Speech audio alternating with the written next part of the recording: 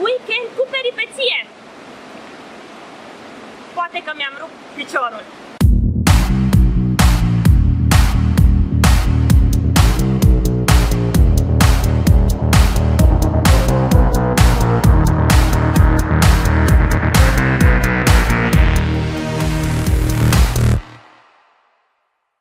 Salutare, salutare și bine te-am regăsit pe canalul meu de YouTube.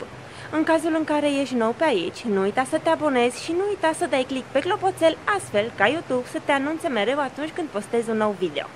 De data aceasta, te salut de la poalele muntelui Caimaxalan, munte ce atinge 2524 de metri.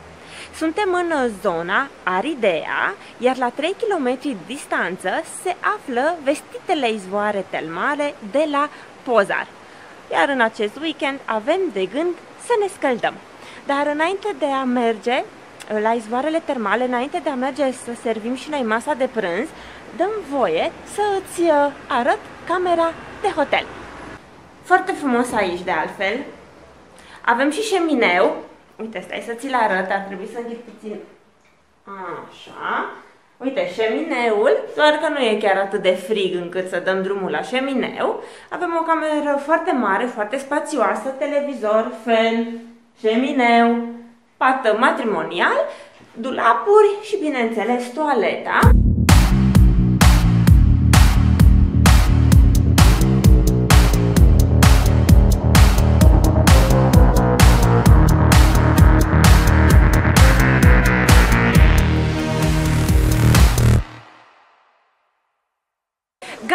De bălăceală! Am optat pentru piscina cea mare. La intrare am achitat 3 euro. Există și alte două piscine mai mici, unde intrarea este 2 euro. Dar e bine de știut că există și zone special amenajate pentru turiștii și grecii care nu doresc să plătească bilet de intrare.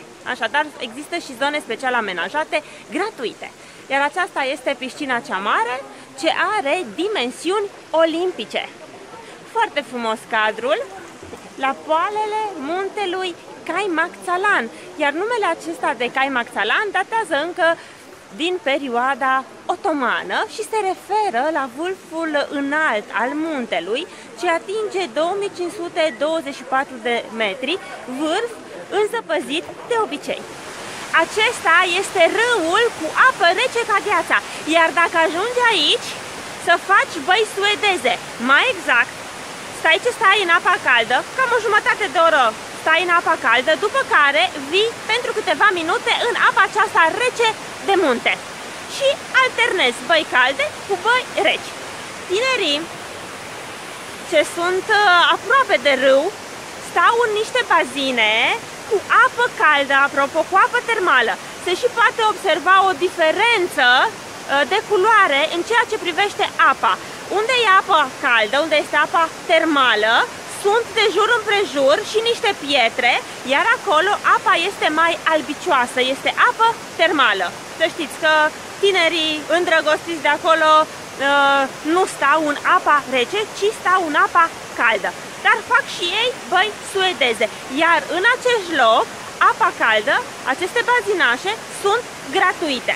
Piscina este puțin mai în spate, unde se plătește bilet de intrare 3 euro. Domnii aceștia coboară de pe munte, au fost la o peșteră, iar eu vreau acum să îți arăt cam cum arată aceste bazinașe unde nu se plătește bilet de intrare. Hai să mergem! E zgomot foarte puternic datorită cascadei.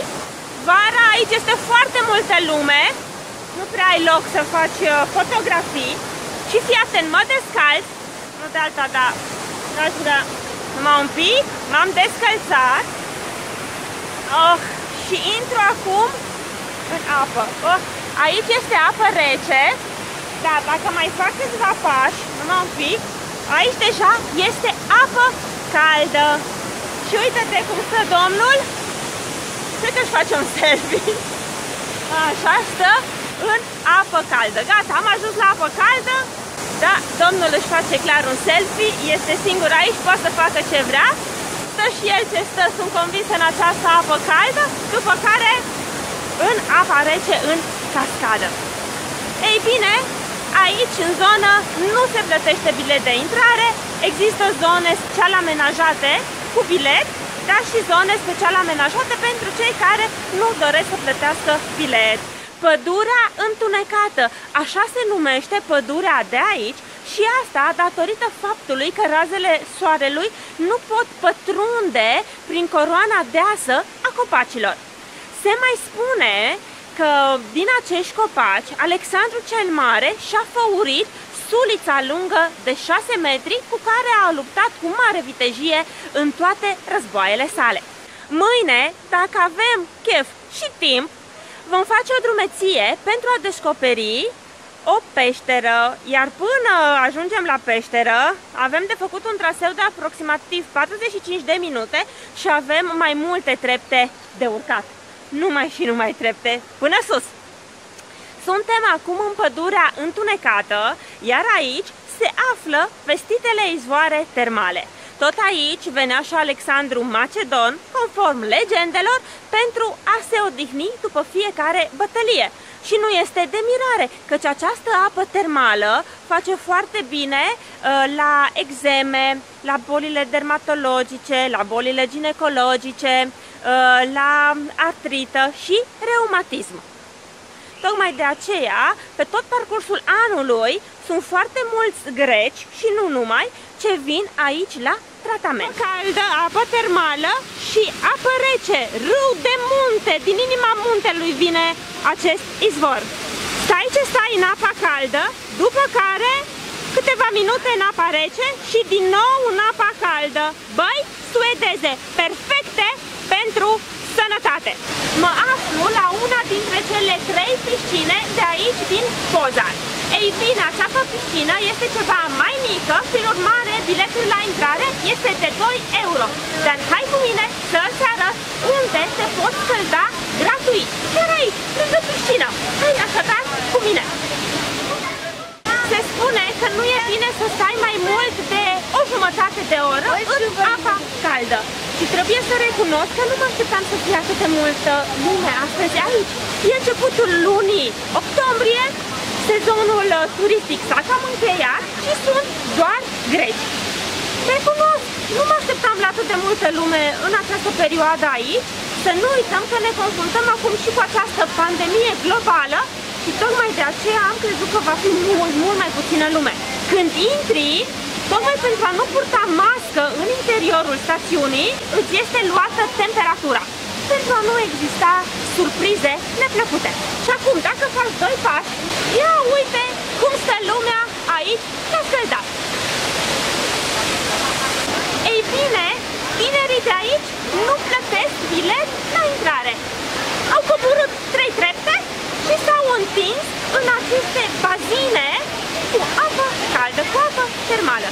Super tare! Îmi place tare mult ideea aceasta.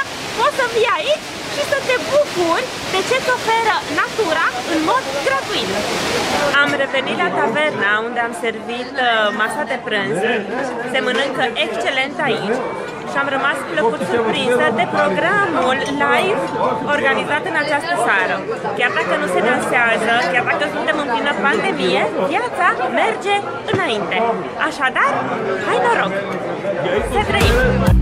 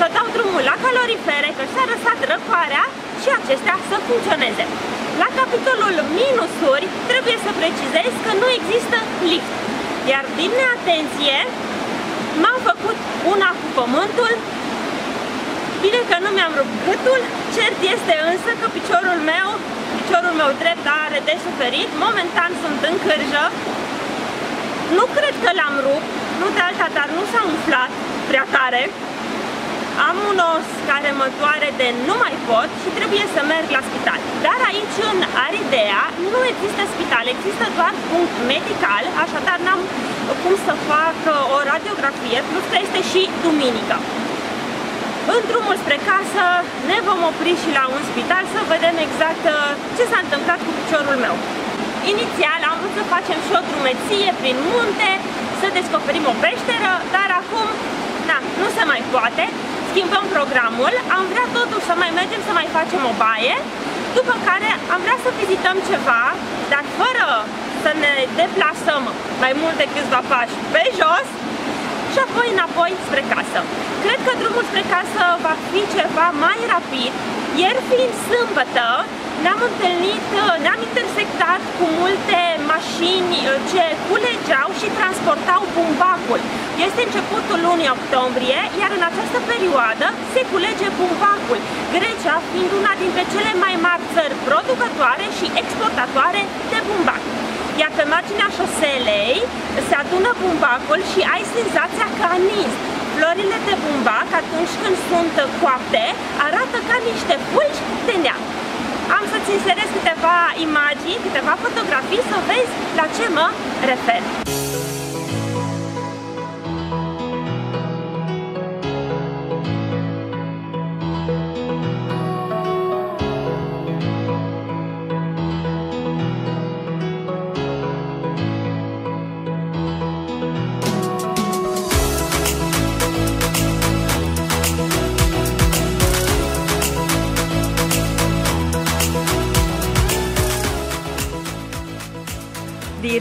Spre casă, nu mai facem nicio baie, nu mai mergem nicăieri, ci direct la spital.